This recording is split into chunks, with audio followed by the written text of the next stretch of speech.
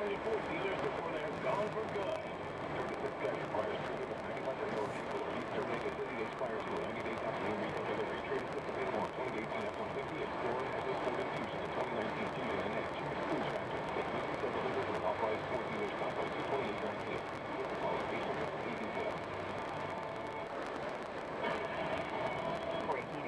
first four traffic here in. We're going back to Benicia, Susan, where drenching even hail really slowed traffic down. And now we've got a spin out on 680 northbound, about a mile south of Parish Road.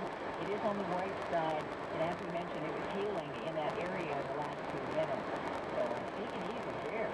And uh, northbound 680 in Concord, looking at heavy traffic. It's a four-car crash between Willow Pass Road and Concord.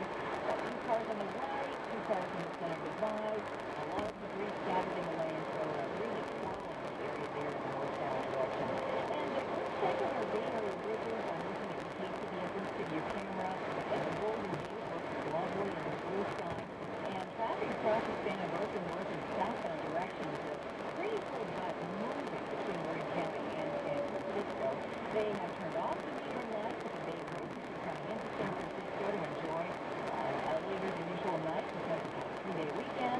it's no way to go plans. It is crowded but moving along way to downtown San Francisco.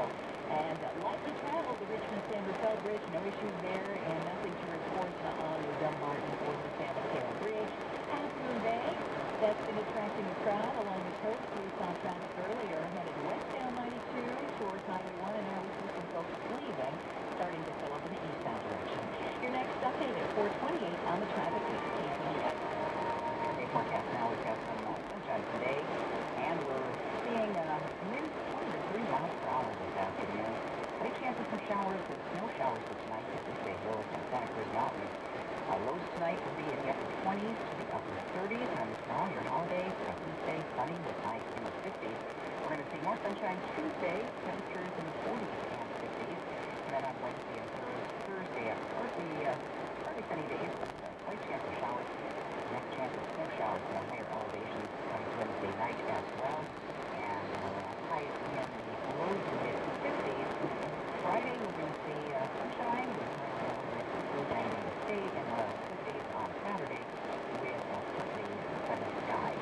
From Bay Area to Saturday, we have uh, 53 degrees reported in Santa Rosa.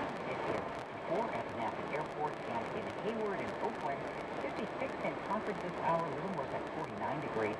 Redwood City has 50 and downtown San Francisco, it is also 50 degrees. Traffic and weather together on the east on All News 1069 and AM 740 KCBS. KCBS News Time 420. Pope Francis made the decision on Friday to cross Theodore McCarrick, who is now an ex-cardinal and former Archbishop of Washington, has over several cases of child sex abuse and harassment.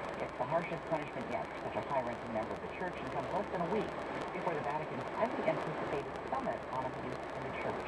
Paul Murphy is a history professor and director of the Institute of Catholic Studies at John Carroll University. He tells KCBS's John Bristow the summit could be a global moment of recognition on the issue. First of all, where will this summit take place? Uh, this summit will take place in uh, Rome, and it is a meeting of the heads of the national bishops' conferences uh, throughout the world. Uh, so there will be more than 100 bishops present as well as Vatican officials. And for our listeners who might not be terribly familiar with the workings of the church, can you put into context how big this decision is to, to have this? It's a significant deal because when the sex abuse crisis among the Catholic clergy um, broke into public consciousness in 2001 in the Boston area, um, other churches throughout the world, in, in India, Africa, Latin America, claimed that this was an American problem, that we Americans were too uh, loose with our sexual mores, and that's why it happened there, the sexual revolution and all that. I think what Pope Francis is trying to do is impress upon the bishops of the rest of the world that this is a global phenomenon that, that goes to the heart of how the church functions. Uh, he blames much of it on clericalism, uh, and it's not just an American problem. As he's seen, it's, it's clearly a problem in Latin America. It's also a problem in India, in Western Europe as well. The significance here is that they're actually going to try and take steps to make sure that this is dealt with uh,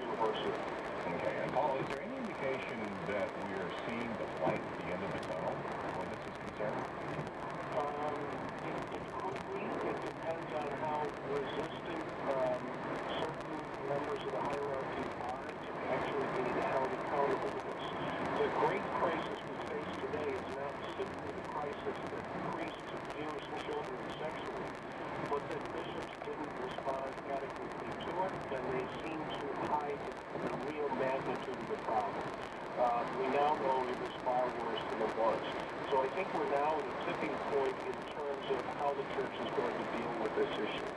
Um, I think great strides have been made in terms of the protection of children in the Catholic Church since 2002, but now we have to deal with the issue of how to hold bishops accountable who don't do their job. And finally, Paul Murphy, what should we expect now going into the summer? Well, I, I don't think we should expect that they're going to solve every problem in a three-day meeting, but certainly I, I think what's going to happen is, is that the experts in Rome who are clear on the issue are going to inform the bishops around the world heads of each of these national bishops conferences um, that they have to take this seriously and this is how you do it and here are the experts that you need to turn to. This is not going to be a meeting where they're going to deliberate how serious the problem is. This is kind of a come to